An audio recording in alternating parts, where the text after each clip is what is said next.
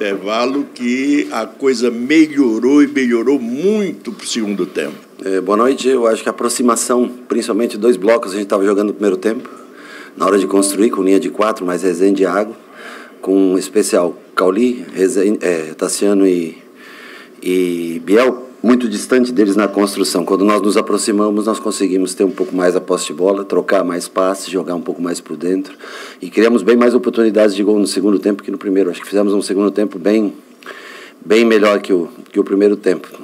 O primeiro tempo foi bem mais equilibrado, o Inter teve mais controle de jogo, já no segundo tempo acho que a gente conseguiu, mesmo antes da expulsão, estar tá melhor no jogo, poderíamos ter feito o segundo, o terceiro gol, detalhe pequeno, né, de impedimento, de falta, de enfim, nós poderíamos ter ter tido um placar mais elástico no, no final do jogo. Mas time bem competitivo, bem, bem postado em campo, de se destacar, acho que não sofrer gols, que é uma coisa que a gente já estava desacostumado, né?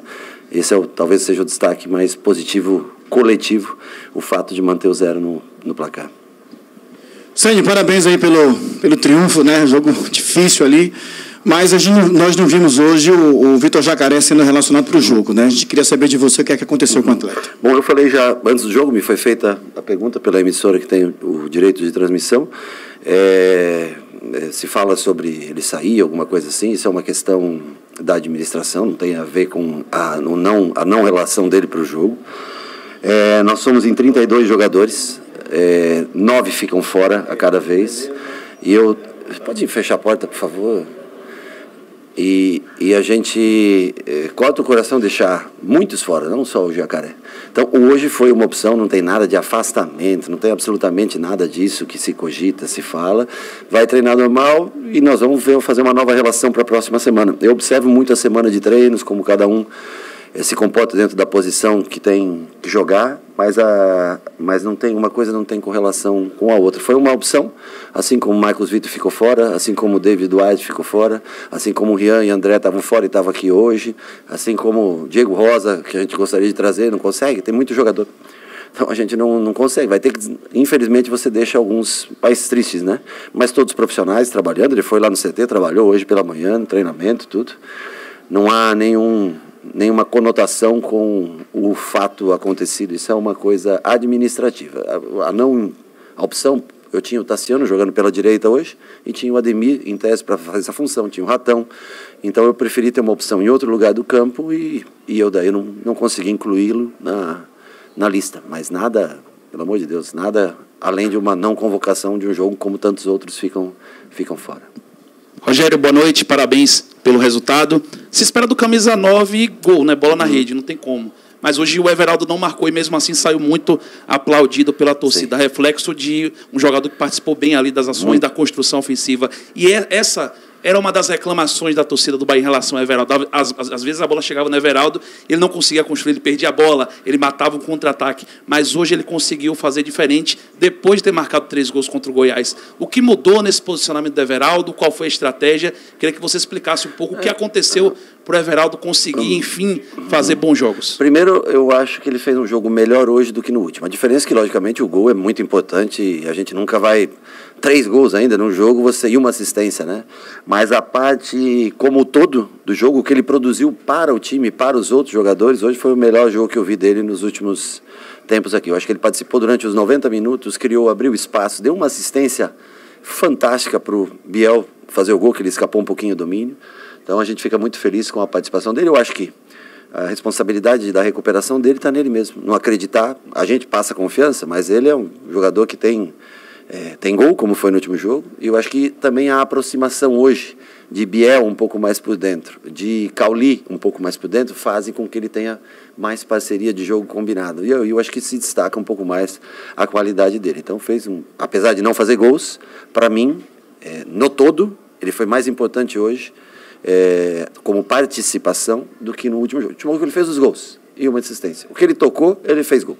Hoje não. Hoje o que ele tocou produziu, fez com que todos produzissem mais. Então, para mim foi hoje até, acho que o melhor jogador em campo nosso hoje. Assim como o Cauli foi no último jogo, muito o Veraldo fez os gols, mas o Cauli para mim foi o mais importante jogador do jogo. Hoje talvez o Everaldo tenha sido. Todos foram muito bem, mas é, quando e outra coisa de se destacar, né, que a gente sempre cobra da defesa, né, que toma gols. Hoje então, a gente tem que dar um destaque positivo para todos que defenderam até o fim, não cederam tantas oportunidades, eu acho que foi bem, e não sofremos gol, desde o, do Marcos até, até os homens de meio campo ali, que ajudam muito na defesa, dá um destaque para eles também. Você citou aí o primeiro e o segundo tempo, distintos uhum. no que diz respeito ao Bahia ter mais equilíbrio. Mas no segundo tempo eu vi que, pelo menos no meu entender, o Bahia foi mais, digamos assim, incisivo pelo lado direito do ataque. Uhum. E às vezes até o Biel caindo por aí. Foi mais ou menos por aí, ou seja, você uh, viu que tinha alguma deficiência pelo aquele lado da equipe do, do Internacional e por isso também a equipe fez um bom, belo segundo tempo? Eu, eu acho que é, é, hoje ficou um time construído de maneira diferente. Ele deixou de ter um pouco de velocidade para ter um pouco mais de qualidade por dentro. Eu gosto mais desse tipo de jogo, confesso a você. É, nós triangulamos melhor, talvez um pouco pelo lado direito, chegamos um pouco melhor pelo lado direito, mas foi mais coincidência. Eu acho que eu não vejo como. Claro que teve a troca, quando sai um lateral de esquerdo, entra um lateral direito, pé na trocada, sofre um pouco mais, mas o que nós melhoramos foi a pressão na bola no segundo tempo. Nós conseguimos recuperar mais rápido que no primeiro tempo a bola. E o que a gente tem que aprender é gostar da bola. Porque se só tem duas opções no futebol, ou você está com ela, ou o adversário está com ela. Então é melhor que você esteja, porque você está protegido com a bola. Então no segundo tempo a gente gastou mais o tempo, se fez mais, mais triangulações, apareceu o quarto homem, conseguiu virar jogo. É, mesmo antes do, da expulsão, né, e ficar aqui aí com uma superioridade, o que é normal, mas eu acho que a gente tem que aprender a dar mais valor à bola porque a gente perde muito rápido a bola. A gente quer contra-atacar muito rápido às vezes. Claro, há contra-ataques e contra-ataques, mas eu acho que a gente tem que aprender a tentar jogar com mais posse, com mais construção, mais aproximação, porque você não dá tantas oportunidades ao adversário para te incomodar, para fazer gol. Eu acho que isso foi o melhor que aconteceu hoje, principalmente no segundo tempo. Boa noite, Rogério. É, queria que você falasse da, dessa importância, de, de, a certo ponto, da, das datas, é, datas FIFA que aconteceram. Você falou antes que era ruim trabalhar 10 dias depois de uma, uma derrota, como foi aquela para o Santos. E aí você vem de um triunfo de seis gols. Como é que foi essa semana para enfrentar o Inter e quebrar um tabu, que eu não sei se você tinha conhecimento, de 10 anos, anos, que o Bahia não ganhava aqui. É. É, é, quando você vence, logicamente que é, o humor de todos melhora, é mais fácil você trabalhar. Você imagina se nós tivéssemos perdido para o Goiás, enfrentar esses 10 dias com 5 pontos de distância do primeiro time da zona de rebaixamento, seria terrível. Facilita muito para um treinador poder ter a, o triunfo para poder trabalhar. Então, acho que foi uma chave que virou até pela forma como foi o jogo. Está ganhando, tomar virada, virar no final, se manter forte no jogo. Eu acho que isso ajudou muito a, a motivação de todos. Foi a melhor semana, ou os melhores sete dias, porque foram sete dias de treino.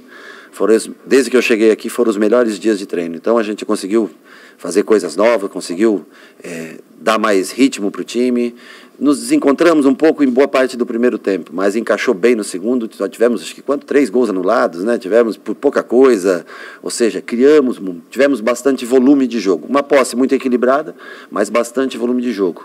E a gente gostaria de ter agora. A data FIFA foi importante para treinamento, porque chega um treinador novo, é mais difícil, né? Se você tá, fez a pré-temporada, já tem um sistema definido, pré-definido de jogo, eu acho que não é tão importante. O que fica ruim é que aperta muito os jogos nós temos menos de 72 horas para o próximo jogo e fisicamente você tem que fazer uma avaliação, olhar cada um como está. Vitor Hugo teve um corte grande né, na testa, deu alguns pontos na testa. É, Rezende novamente suspenso pelo terceiro cartão. Então nós vamos amanhã, amanhã tentar preparar uma equipe, enquanto esses recuperam, preparar uma equipe dentro da disposição de jogo do, do Fortaleza, né? E aí nós vamos escolher peças, devemos ter algumas trocas, algumas obrigatórias ou, e outras por observação de cada atleta, para a gente ver o que, que a gente tem de melhor para. Porque é um jogo, é mais uma final, né? Agora são todos. Infelizmente, os concorrentes também ganharam e embola cada vez mais o campeonato, né? O triunfo foi importante, mas eu acho que é mais importante ainda não tomar gol, a maneira como nós jogamos, o número de chances que nós criamos e trazer o torcedor para o próximo jogo. Se hoje teve quanto? 30 e... 31, tenho certeza que nós vamos passar de 40 a 45 no próximo. E o torcedor é o combustível desse time. Se o torcedor vem, esses caras, difícil se entregar. É, perante uma torcida como essa, é difícil o atleta se entregar em campo. Todos lutaram até o final.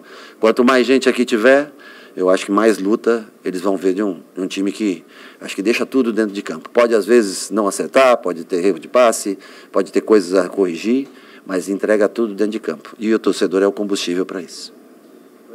Parabéns.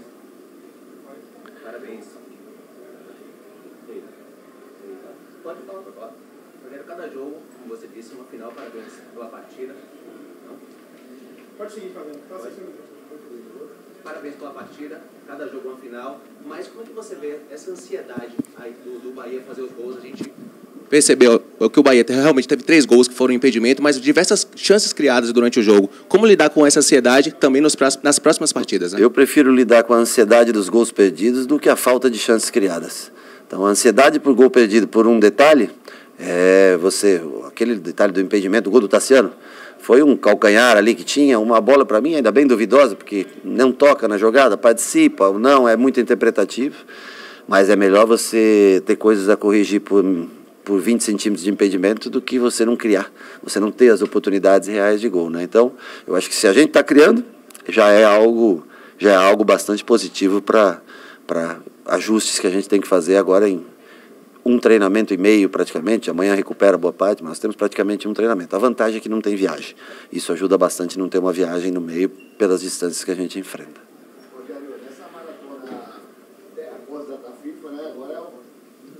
Rogério, nessa maratona após data FIFA, agora é o Fortaleza, o time Sim. que você conhece muito bem, é ídolo lá. Desse conhecimento que você tem no clube, que você pode tirar de positivo para o próximo jogo? Bom, eu do time que eu trabalhei, acho que só o Tinga praticamente está lá, né? Então, o que a gente tem é um respeito muito grande, um, um clube que foi importante na minha história, eu também acho que tenho né, coisas positivas que foi deixado lá. E é um enfrentamento aí de tricolores, talvez seja hoje o maior clássico do, do Nordeste, talvez seja, né?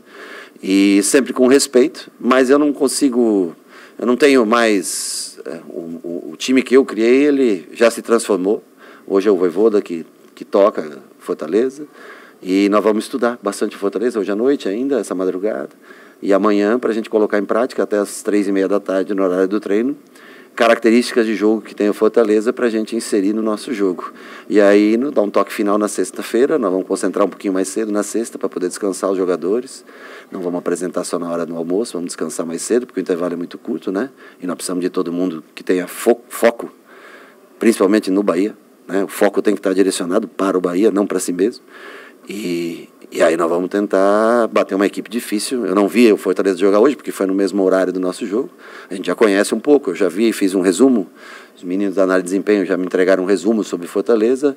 E nós vamos tentar, dentro das características de jogo, competir contra uma equipe que é, chegou à final da Sul-Americana por ser muito bem treinada e altamente competitiva.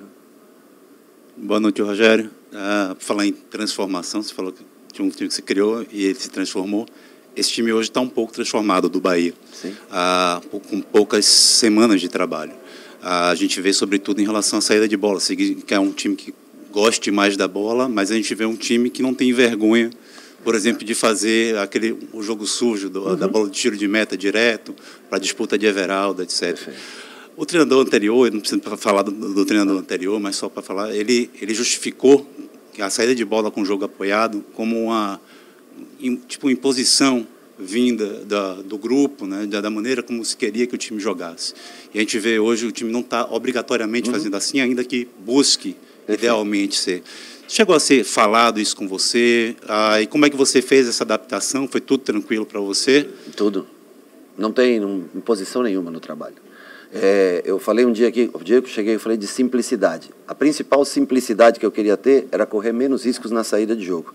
Ah, se eu gosto de sair uma, uma saída apoiada, claro que eu gosto de sair construindo. Se nós tentamos hoje, algumas vezes tentamos, não conseguimos ainda.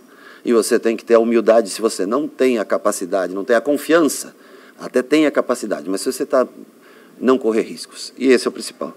Ah, o Grupo City é um grupo que preza pelo modelo de jogo, mas nós temos que prezar pela continuidade do Bahia na Série A. E esse é, é inegociável, porque eu sei que o grupo que ele mais quer é que o Bahia permaneça na Série A. Com uma pré-temporada, nós podemos inserir muita coisa. Mas se nós não tivermos condições, é assim que nós vamos jogar. É com a simplicidade e, e qual é a vergonha, qual é o problema de da gente não sair jogando. Ah, culturalmente o grupo gosta? Muito legal. Tenho certeza que o grupo gosta mais de estar na Série A e depois com uma pré-temporada, aí sim você pode inserir elementos. Então assim, para esse momento, sem muito tempo, com pouca adaptação, nós vamos simplificar. É, esse é o, é o, é o momento para isso. Se a gente conseguir se manter na Série A, a gente pode inserir outro contexto de jogo a partir do próximo ano. Boa noite, Rogério. Boa noite. Aproveitando. Você não vai me criticar hoje, nada, né? Não, Você nunca me critica. Você tem quatro jogos que eu não critico, né? Por que você criticou no primeiro? Nem quando perdeu. Nem quando perdeu. É, assim, você, seu, sua equipe, Uhum. nos jogos que você comandou, ela conseguiu marcar 12 gols. Mas conseguiu, ou melhor, não conseguiu não sofrer Ah. tantos gols e acabou sofrendo nove gols. Uhum. Tem sido o seu maior problema, tem sido o que mais tem queimado os neurônios, encontrar esse equilíbrio Sim. defensivo que é de todo um sistema, desde lá da frente até o fundo, e não só da zaga, É. para que não tome tantos gols. E é, muitas vezes a gente é, é, pontua o treinador como teimoso quando não coloca as peças que a gente talvez entenda Claro. Tendo só o recorte do jogo que deveria entrar, e você que está no dia a dia entende que não, que aquelas que você está bancando valem a pena ser bancadas. E com isso você tem conseguido rec- recuperar peças que para o torcedor e para alguns já não estavam na conta, né? Eu vou só citar, mas você fica à vontade de citar ou não. Claro. O próprio Vitor Hugo, o próprio Iago Felipe, o próprio Everaldo. Claro. Como você tem trabalhado isso, como tem sido recuperar essas peças e como tem sido essa, esse dilema de não tomar tantos gols? Hoje não É, tomou. Pois é, eu acho Mas- que hoje, hoje foi uma evolução, porque além de não tomar, não cedeu tantas oportunidades. Eu acho que esse é o mais importante, quando você cede poucas oportunidades. Se tem falhas ainda, claro que tem. Eu, como treinador, eu também tenho meus defeitos. Eu sou um cara que gosta muito de jogar para frente. Eu gosto muito de tentar a vitória. Tentar o triunfo, desculpa. Não estou acostumado ainda. É, é, eu, eu gosto de. Se fez um gol, nós temos que tentar o outro. É o melhor remédio que tem para você se afastar da derrota. Tá entendendo?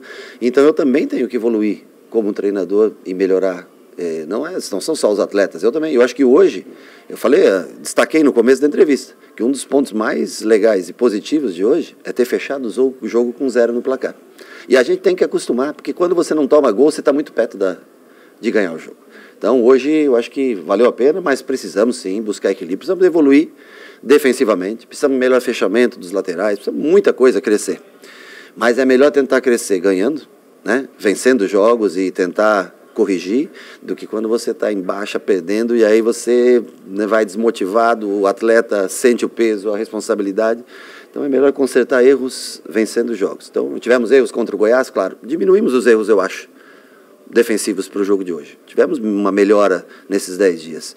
É, vamos enfrentar o Fortaleza, vamos tentar manter esse zero no placar, sem perder a essência do que é o futebol. O futebol baiano, o futebol do Nordeste, eu digo para você, é um futebol ofensivo, é um futebol alegre, é um futebol para frente, e é o que nós vamos tentar manter.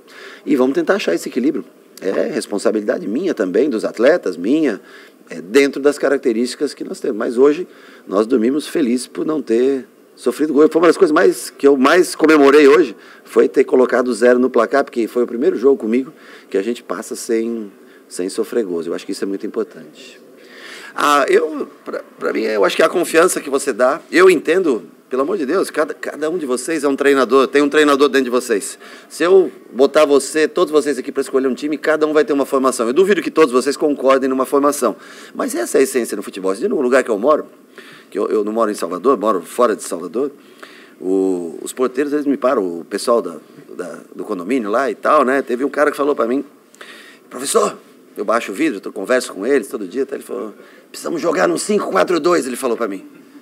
Eu disse, mas você vê, rapaz, eu estou há tanto tempo no futebol, e se eu jogasse com um a mais, que nem ele sugeriu, eu não teria. E eu nunca pensei em jogar no 5-4-2, né?